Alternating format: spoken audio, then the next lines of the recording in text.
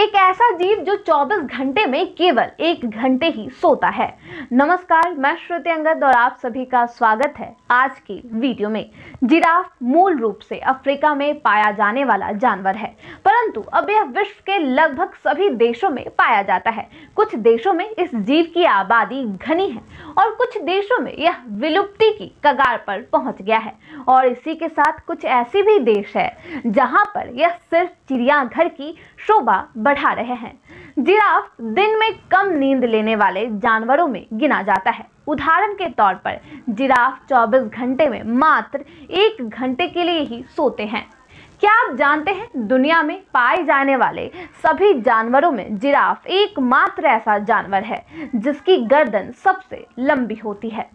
Giraffe भी ऊँट की ही तरह कई दिनों तक बिना पानी पिए रह सकता है। मादा जिराफ अपने बच्चे को खड़े होकर ही जन्म देती है और बेबी जिराफ जन्म के मात्र एक घंटे बाद ही उठकर चलने लगता है और मात्र कुछ घंटे बाद ही दौड़ना भी शुरू कर देता है। जिराफ अपनी लंबी टांगों के कारण 35 मील प्रति घंटा की रफ्तार से दौड़ सकते हैं, परंतु यह दौड़ छोटी दूरी की होती है।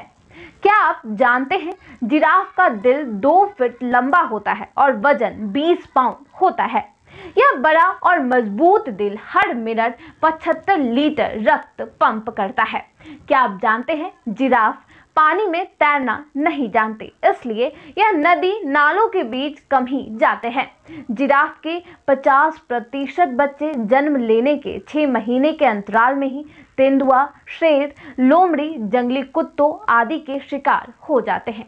एक स्वस्थ नर जिराफ लगभग 18 फीट तक ऊँचा हो सकता है और मादा जिराफ 14 फीट लंबी होती है। जिराफ से जुड़ी रोचक तथ्य आपको कैसे लगे, आप हमें कमेंट करके ज़रूर बताएँ। वीडियो अच्छी लगी हो तो वीडियो को लाइक और शेयर करें। अगर यह वीडियो आप हमारे फेसबुक पेज पर देख रहे हैं तो हमारे फेसबुक पेज को फॉलो करें। अगर यह वीडियो आप हमारे यूट्यूब चैनल पर देख रहे हैं तो हमारे यूट्यूब चैनल को सब्सक्राइब करना ना भूलें। धन्यवाद।